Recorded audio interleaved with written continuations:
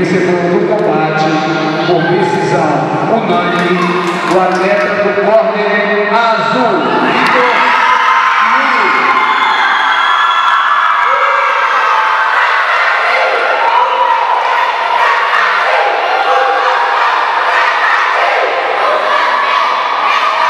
Prepara para a próxima luta, Augusto Breno.